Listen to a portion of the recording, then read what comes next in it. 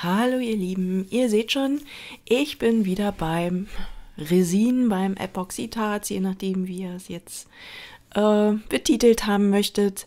Ich habe mir wieder mal was Neues überlegt und ähm, also zumindest für mich. Ähm, die Form selber hatte ich letztes Jahr schon mal gemacht und habe jetzt diesmal überlegt, ich möchte sie gerne mit Belichtung machen, wollte mich einfach mal ausprobieren und mal schauen, wie es am besten funktioniert. Und genau, ganz wichtig, immer gleich am Anfang, ähm, Handschuhe sind wichtig und auch eine Maske zu tragen, weil auch Epoxid hat, hat einfach eine chemische Reaktion und Gerüche, Dämpfe, die austreten und dadurch am besten wirklich einfach mit einer Maske machen. Es gibt ganz aufwendige Masken. Ich nehme in der Regel eine etwas nicht ganz so aufwendige Maske, aber wie gesagt, das ist äh, für jeden unterschiedlich jetzt und ähm, hat auch eine gewisse Eigenverantwortung. Ansonsten, ich habe es jetzt eben mit einer Beleuchtung jetzt versuchen wollen. Ich habe drei Formen, einmal Family, einmal Love und einmal Home.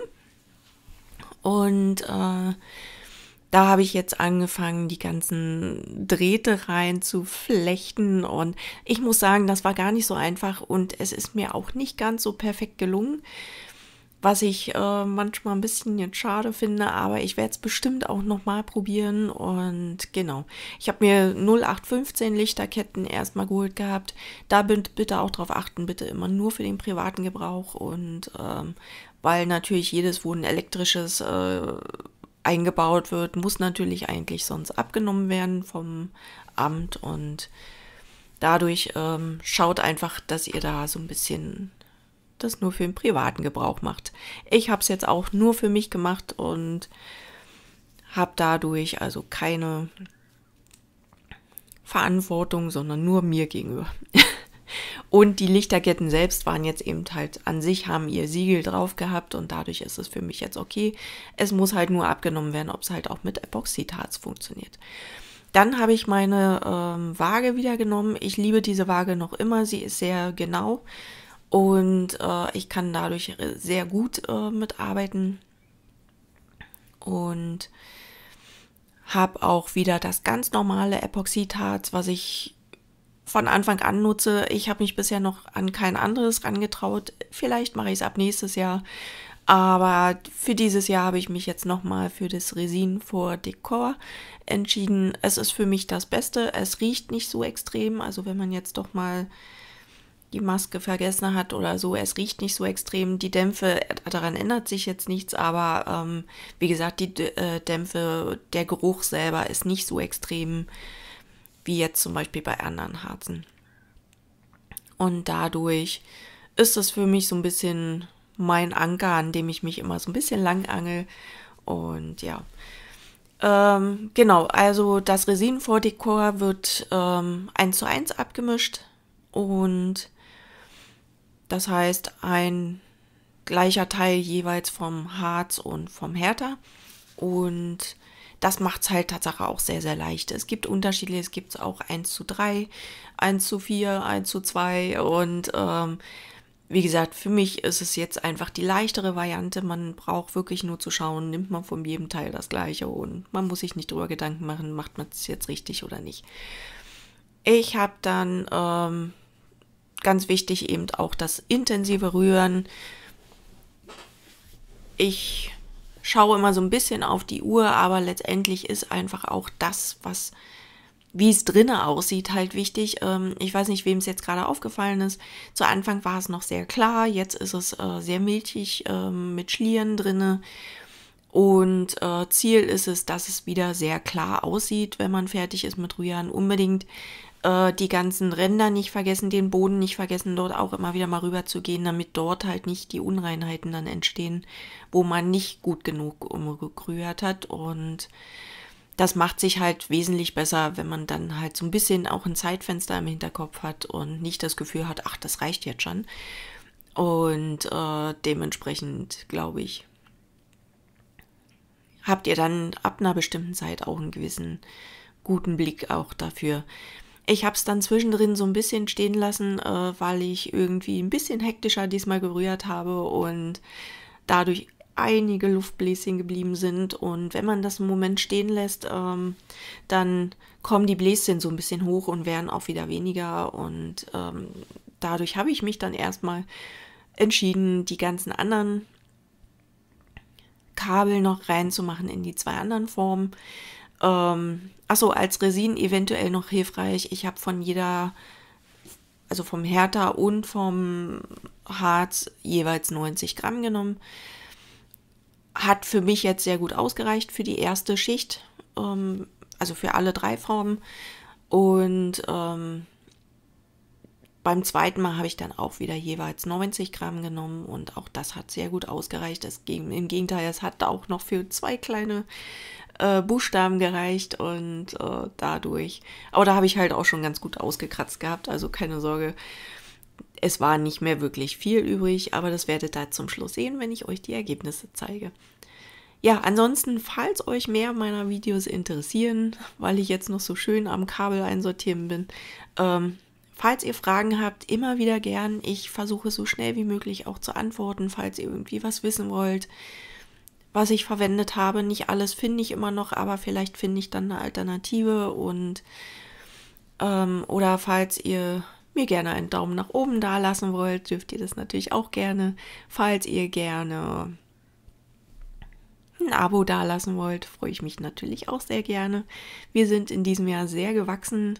Also, wie gesagt, ich freue mich über jeden einzelnen, deswegen sage ich auch sehr gewachsen. Wir sind aktuell bei 157 Abonnenten und ich freue mich über jeden einzelnen sehr.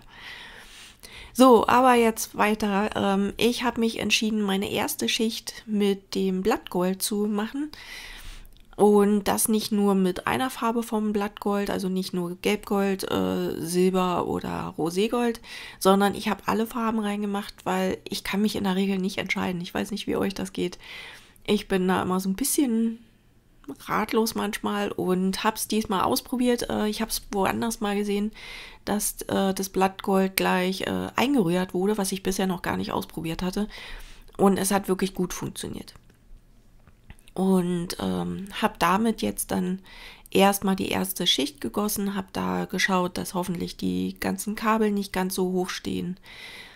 Und ähm, war gar nicht so einfach, muss ich sagen. Erstens mit dem Blattgold, weil der Platz ist natürlich auch immer sehr begrenzt und wenn dann was daneben kleckst, ist das auch nicht so schön.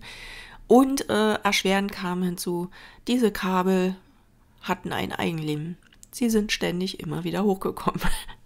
Also es war ein ganz kleiner Kampf, mit dem ich nicht ganz so gerechnet habe, aber ich finde, äh, das Endergebnis war jetzt doch äh, dann gut. Ähm, ein, zwei Stellen sind es, wo ich dachte, mh, hm, so ein Mist.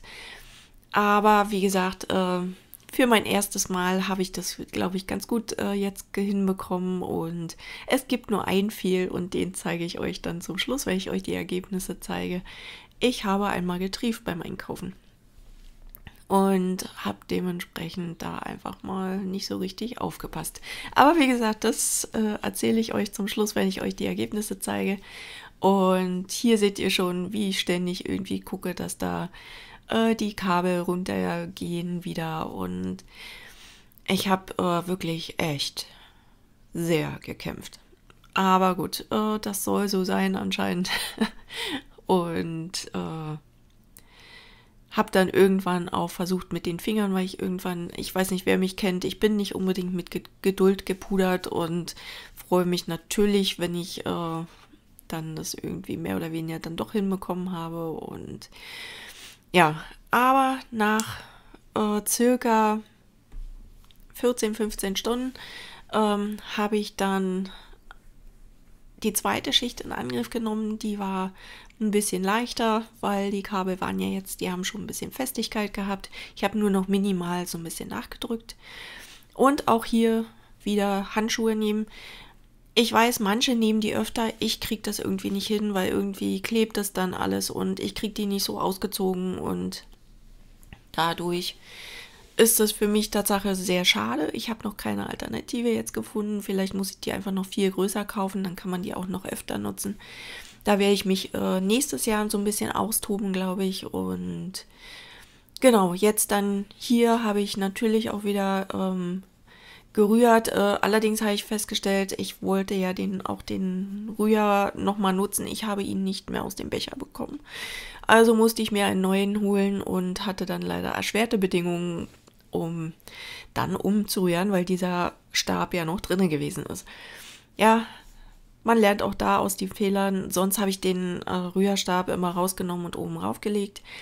Diesmal habe ich es vergessen und dann war leider schade. und genau, aber wie gesagt, äh, ist vollkommen okay. Man lernt aus seinen Fehlern und das ist wie, ich hatte, glaube ich, nur einmal ein Fehl, dass ich nicht richtig gerührt habe und dann ist es einfach nicht fest geworden. Es war verhext, es ging nicht, es ging nicht, es war einfach nicht richtig umgerührt worden und dadurch immer wieder mein Hinweis, bitte, bitte richtig rühren, wenn ihr das gerne mal ausprobieren wollt. Und ja. Ja, und diesmal werde ich mich, ähm, habe ich mich für drei Farben entschieden. Ähm, das habe ich tatsächlich aber erst in dem Moment entschieden. Ich habe es nicht vorher, äh, weil ich weiß nicht, wer das manchmal auch so kennt.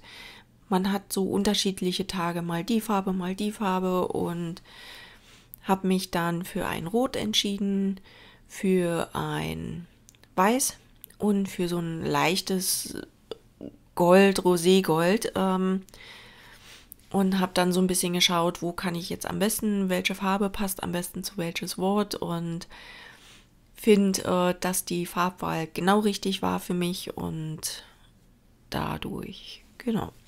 Ja, ich habe dann noch so ein bisschen, wie gesagt, die Kabel noch mal ein bisschen runtergedreht, äh, runtergedrückt und jetzt habe ich die Farben, äh, das Epoxidharz erstmal auf drei Becher verteilt. Ähm, Family ist ja ein bisschen größer, beziehungsweise die Buchstaben sind dann einfach äh, kleiner zwar, aber dadurch doch ein bisschen länger. Und habe so ein bisschen geschaut, dass hoffentlich das Epoxidharz reicht, aber ich hätte im Zweifel auch noch mal ein bisschen was nachgelegt.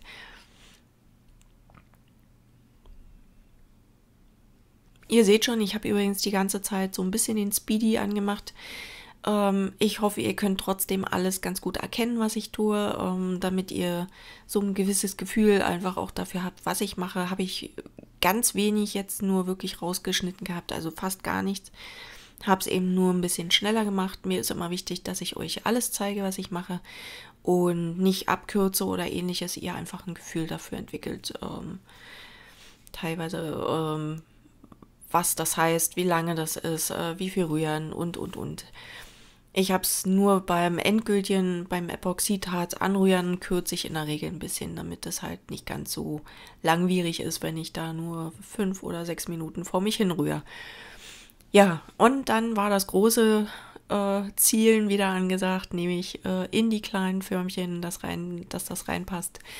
Ähm, es gibt gute und es gibt schlechte Tage, das kennt, glaube ich, auch jeder. Mal hat man ein zittriges Händchen und mal eben ein wieder festeres Händchen, um damit zu gießen. Aber ihr seht schon, es funktioniert schön. Ich lieb's. Ähm, auch das Love, das mit dem Rot, äh, das war für mich relativ schnell klar, dass Rot Love wird. Ich glaube, hätte ich da eine andere Farbe genommen, hättet ihr vielleicht gedacht, warum macht sie das jetzt? Aber genau. So, und das Family hat diesen Gold-Touch bekommen. Ich liebe den ja sehr. Der hat so einen cremigen Farbton, äh, der funktioniert es halt relativ schön. Der ist jetzt auch nicht, ich habe auch andere Farben, wo ich halt manchmal das Gefühl hatte, da kommt so viel von den Farbpigmenten wieder nach oben. Äh, egal wie viel ich genommen habe, was ich dann natürlich immer sehr schade finde. Und äh, ja, ich habe bei überall so ein bisschen erstmal ein bisschen was reingegossen gehabt, habe dann auch ein bisschen geschaut, dass ich nochmal nachgegossen habe, weil ich immer das Gefühl hatte, da muss noch was durch die ähm, ka kleinen Kabellücken, die ich noch hatte, reingegossen werden. Dadurch habe ich dann überall später noch ein bisschen nachgegossen. Ich hoffe, es war jetzt verständlich, was ich meine. Also ich habe nicht gleich alles reingegossen, sondern ähm, erst nochmal sacken lassen und dann nochmal nachgegossen.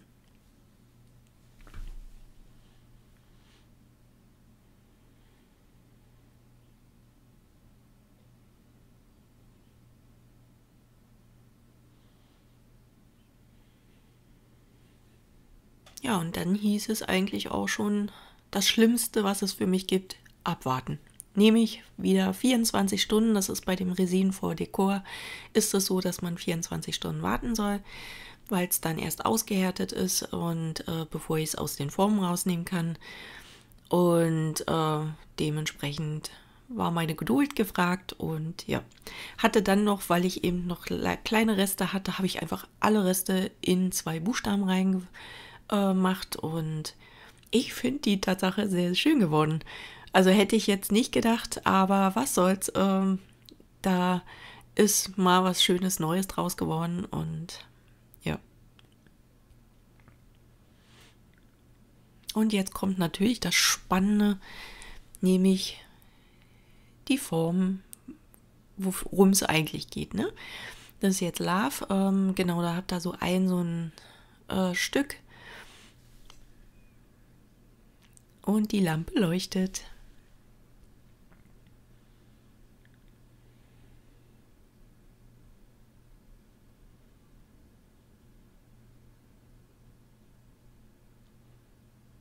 So, da waren jetzt überall noch so kleine Nupsis wo ich drüber gegossen habe, die, die habe ich dann noch korrigiert später und dadurch hat es nicht gleich so richtig gestanden, aber irgendwann hat es auch da funktioniert und die Lampe leuchtet.